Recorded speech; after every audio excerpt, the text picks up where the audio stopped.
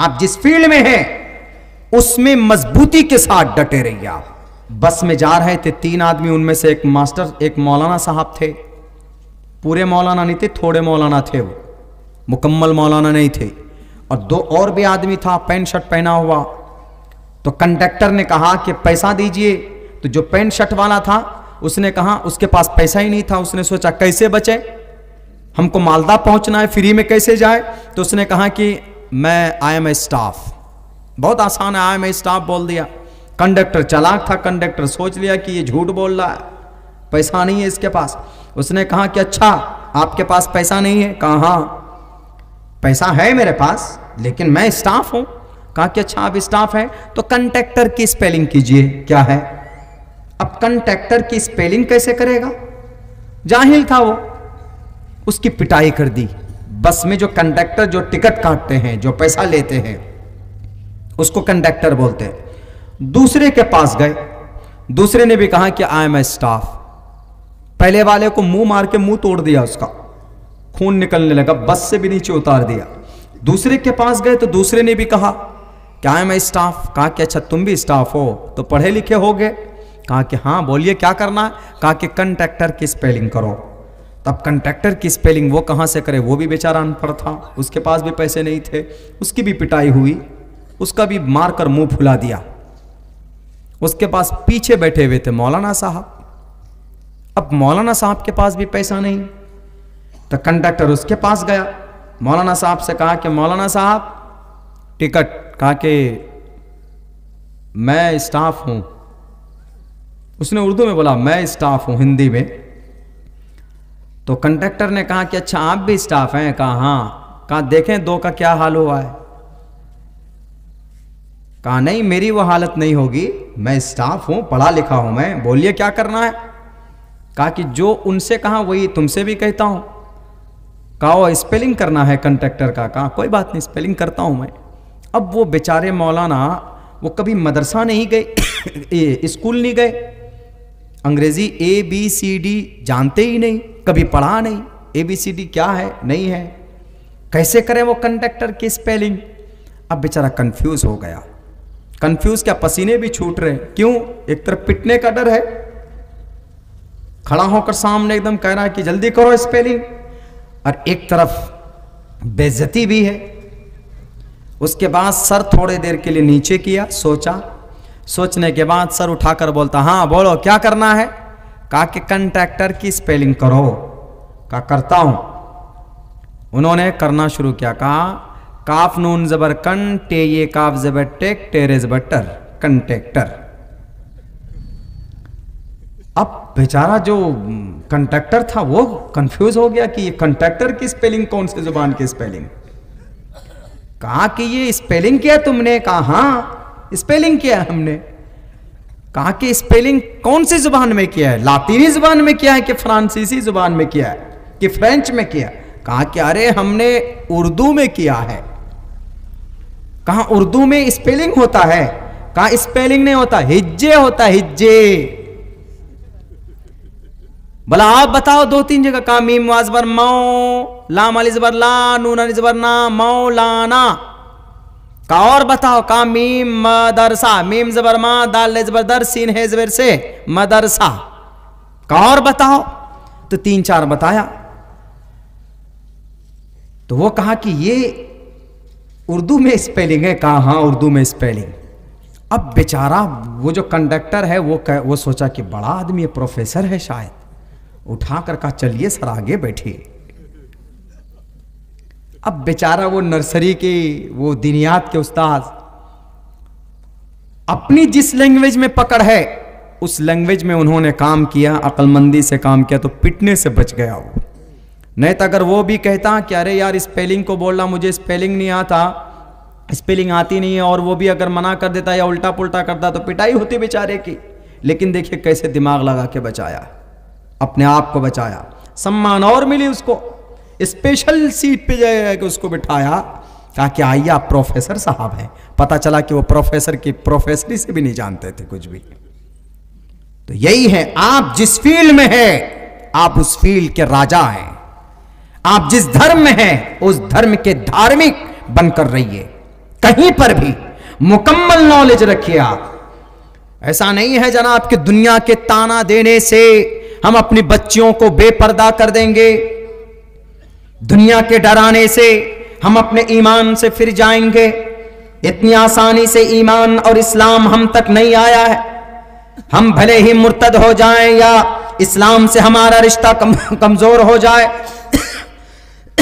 तो अल्लाह तबारक व ताला ऐसा नहीं है कि इसको खत्म कर देगा। हम अगर अल्लाह की नाफरमानी पर उतर जाए तो अल्लाह तबारक व ताला दूसरों को खड़ा कर देगा।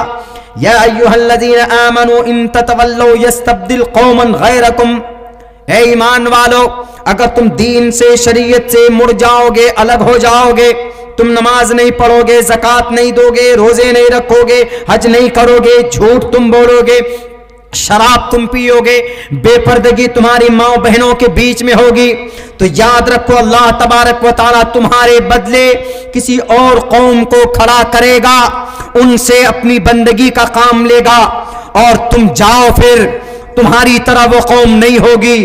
अल्लाह तबारक व ताला का कुछ नहीं बिगड़ने वाला है। अगर हम अल्लाह की नाफरमानी करें, अल्लाह के हुक्म के मुताबिक ज़िंदगी ना गुजारें तो हम अल्लाह तबारक व ताला का कुछ भी नहीं बिगाड़ सकते। मेरे भाइयों, अगर कोई आपसे पूछता है कि आपके नबी ने क्या दिया तो आप यूँ कहना कि नबी ने इस दुनिया को तबाह होने से बचाया है। और सुनो दुनिया वालों, कल कयामत में जब सारे लोग, सारे सारे लोग एक एक फर्द परेशानी के आलम में मुबतला होंगे, सब या रब्बी नफसी नफसी कह रहा होगा, सब के सब, या रब्बी नफसी नफसी, आदम के पास जाएँगे, वो भी कहेगा, या रब्बी नफसी नफसी। हज़रत नूह के पास जाएँगे, वो भी कहेगा, या रब्बी नफसी नफसी, हज़रत हज़रत इब्राहिम के पास जाएँगे लोग। वो भी कहेंगे, या रब्बी नफसी नफसी, इस्माइल के पास। वो भी, या रब्बी नफसी नफसी, सुलेमान के पास। वयकूल सुलेमान साहिबुल ममलुकती क़ियामा, या रब्बी नफसी, या रब्बी नफसी। वयकूल दाऊद खलीफतुल्लाह क़ियामा, या रब्बी नफसी, या रब्बी नफसी। सब लोग, रब्बी नफसी नफसी, कह रहे होंगे। लेकिन अगर कोई कह रहा होगा, अपनी कौम के लिए, हमारे और आपके लिए, वो एक ही ज़ात है, वो एक ही नबी है। वो यकूल रसूलना व नबीना वहादीना शफीना मोहम्मद क़ियामा। वो मोहम्मद रसूलुल्लाह की ज़ात है, जो कह रहे होंगे, या रब्बी उम्मती, या रब्बी उम्मती, कल क़यामत में भी हमारी और आपकी सिफारिश करने वाला कोई माए का लाल होगा तो मोहम्मद रसूलुल्लाह सल्लल्लाहु अलैहि वसल्लम होंगे। कोई और नहीं होगा। इसलिए दुनिया वालों से कहना कि इस दुनिया को बचाया है तबाह होने से। जगतपति असिनाश दूदमन अठेश्वर्य गुणनविता इस दुनिया का पति अगर कोई है, इस दुनिया का मुहाफिज अगर कोई है तो वह आखिरी नबी मोहम्मद इब्न अब्दुल्लाह मोहम्मद अलैहि वसल्लम की जात है। कल क़यामत में भी अगर बेड़ा पार होगा, कल क़यामत में भी अगर सिफारिश किसी की काम आएगी तो मोहम्मद रसूलुल्लाह आएँगे सिफारिश करने के लिए। मेरे भाइयों, इसका यह मतलब नहीं कि हम और आप अच्छा अमल करना छोड़ दें। नहीं, आपकी your great responsibility and to pay offer सला five times a day and to pay जका and pilgrimage to Mecca and to keep fast in the month of holy Ramzan Ramzan में रोज़ा रखना, ज़क़़त देना, हज करना, पाबंदी से नमाज़ पढ़ना there are five pillars of Islam इसको कंटिन्यू मुस्तकिल हमें करते रहना। हाँ एक बात और बताते हैं कि अगर दुनिया आपसे सवाल करे, दुनिया आपसे कहे कि मौलाना, अब तो छोड़ दीजिए, क्या ज़रूरत है? मॉडर्नाइज होना चाहिए दुनिया को, इसलिए कुरान और सुन्नत पर अगर हम अमल करेंगे तो हम मॉडर्न नहीं बन सकते। बिल्कुल गलत। जवाब उसको दीजिएगा कि दुनिया में एहसान अगर किसी का है तो कुरान पढ़ने वालों का और इस कुरान का है आज भी।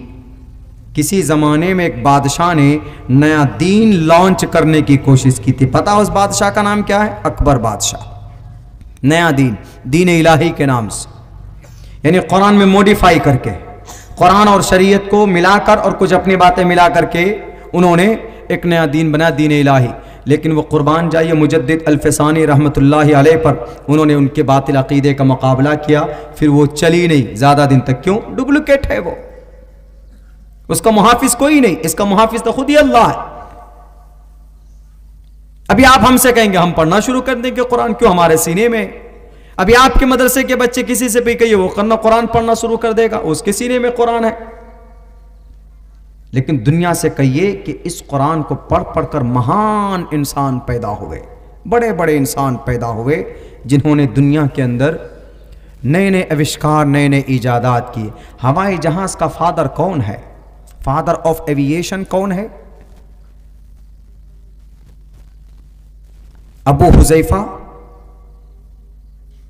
कौन था? कुरान पढ़ने वाला था कि नहीं था, बताइए।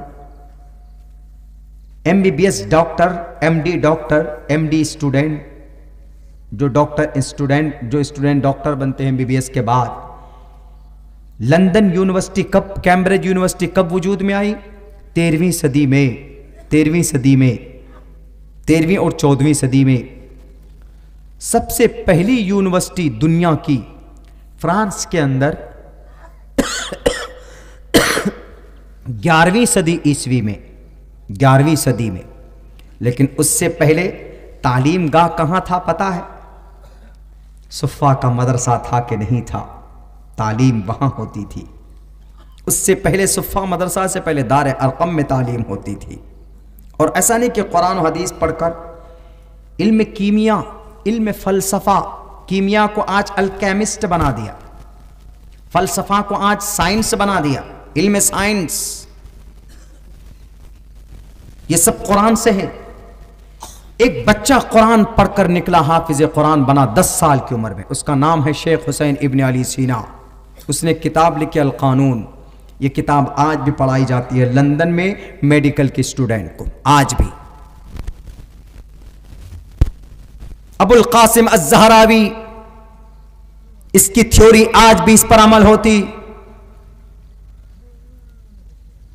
कुरान पढ़ने वाले थे ये सब के सब। ये सिर्फ़ बड़े नाम आपके सामने मैं पेश कर रहा हूँ।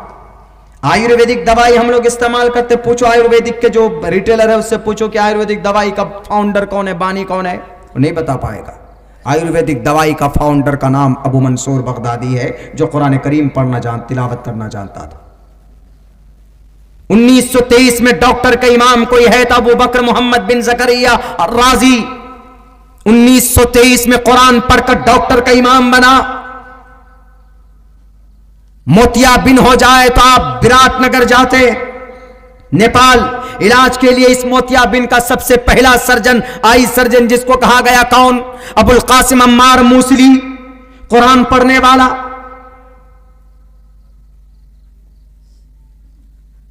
सात सात प्लैनेट्स हैं हमारे सोलर सिस्टम में सात। सात में से जो छठा, वीनस है शायद, वीनस। वीनस को खोज करने वाला कौन?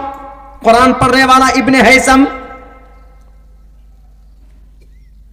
पेट में पथरी हो जाए, मसाना कमज़ोर है, बच्चे की ट्रीटमेंट कैसे होगी?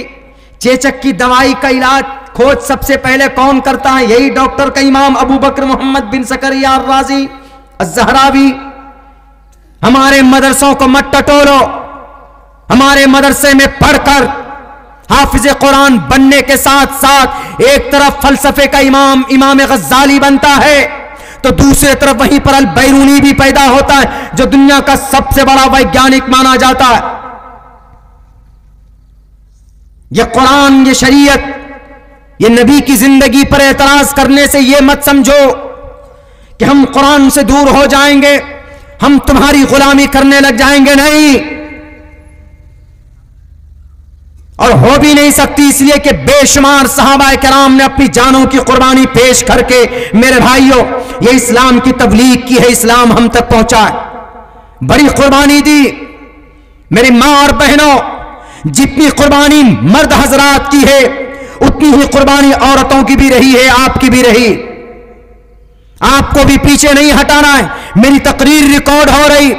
मैं सीमांचल की उन सत्रह बहनों से कहना चाहूँगा जिन्होंने पैसों की वजह से अपने ईमान का सौदा किया। याद करो आप, याद करो बीबी सुमैया की ज़िंदगी को, जब उन्होंने कलीमा पढ़ा, अल्लाह के नबी से करीब हुए, कुरान को सीने से लगाया तो उस वक्त का सबसे बड़ा ताकतवर अबू जहल कहता है कि, आसिया सुमैया, अगर तुम्हें अपनी जान बचानी है तो बताओ, मैं तुझे माफ़ कर दूँगा। लेकिन तुम मुझे बता दो कि मैं मोहम्मद इब्ने अब्दुल्ला को अल्लाह का नबी और रसूल नहीं मानती। मैं तुझे आज बख्श दूँगा। जैसे आज ये कुर्सी इख्तिदार पर बैठकर जालिम लोग हक बोलने वालों को कहते हैं कि तुम मेरे हक में बयान दो, नहीं तो तुम्हें जेल में डाल दूँगा। यही तरीका था अबू जहल का, जो आज ये लोग तरीका अपनाए हुए। मैं फिर से कहता हूँ कि जुल्म फिर जुल्म होता है। जब बढ़ जाता है जब वो तेज होता है तो उसके खात्मे का वक्त आ जाता है। उसका खात्मा करने वाला कोई ना कोई अल्लाह तबारक वाली इस ज़मीन पर भेजता है। निज़ाम है अल्लाह तबारक वाली का। हमारे हिंदू भाइयों की किताबों में भी इस निज़ाम, इस सिस्टम को बयान किया गया है। यदा यदा ही धर्म से गला निर्भवती भारत, अब युद्धानम धर्म से तदात्मानम सुरजामहम। जब इस धरती पर पांडवों के ऊपर जुल्म बड़ा, कौरवों का जब धृतराज ने एक सुई के नोक के बराबर ज़मीन देने पर मना किया, इनकार किया, पांडवों को तो उस वक्त अर्जुन को खड़ा किया। और जब अर्जुन कमज़ोर पड़ जाता है तो कृष्ण को ज़मीन पर उतारा और कृष्ण को कहा कि जाओ। अर्जुन को कहो कि तुम हथियार मत डालो, इसका मुकाबला करो, इसका खात्मा करो। ये निज़ाम है। जब दुर्गम राक्षस का जुल्म बढ़ा था तो भगवती माँ को दुर्गा दुर्गा बनाकर भेजा था कि नहीं भेजा था। जब उसका जब अंधकासुर का जुल्म बढ़ गया था तो इसी दुर्गे माता ने काली के उतार लिखी नहीं ली थी। साफ़ लफ्जों में कहा, यदा यदा ही धर्म से भवती भारताभ्युद्धानम धर्म से तदात्मानम सुरजाम ज़मीन पर जब अमन परस्त लोगों को खत्म किया जाता है। जब जुल्म तशद करने वालों को, झूठ बोलने वालों को कुर्सी दी जाती है करप करने वाले नेताओं का सम्मान किया जाता है माला पहनाकर। गोदरा के अंदर बिल्कीस बानो की, उसकी इज़्ज़त लूटने वाले, उसकी बेटी तीन साल की बेटी को गोद गोद से लेकर पटक पटक कर पत्थर पर मारा गया। और उसके जालिम रेपिस्ट को जब सजा होती है, कुछ दिनों बाद पहले अभी उनको बाइज्जत बरी की जाती। जब तुम रेपिस्ट को बरी करोगे, बाहर करोगे तो दुनिया के कानून को तुम बदल सकते हो। तुम कुर्सी पर बैठकर अपनी पावर का इस्तेमाल कर सकते हो, लेकिन याद रखना, मरना तुम्हें भी है, अल्लाह के पास तुम्हें भी जाना है। अल्लाह तबारक व ताला कहेगा लिमनिलमुल्कुल बताओ, आज बादशाहत किसकी है? आज हुकूमत किसकी है? आज का पीएम कौन है? आज का प्राइम मिनिस्टर मैं हूँ। आज का बादशाह मैं हूँ। आज का सुप्रीम कोर्ट का चीफ जस्टिस मैं हूँ। आज कौन बचाएगा? जरा खुदा से खौफ खाकर किसी के ऊपर जुल्म मत करो, किसी के ऊपर तशद मत करो।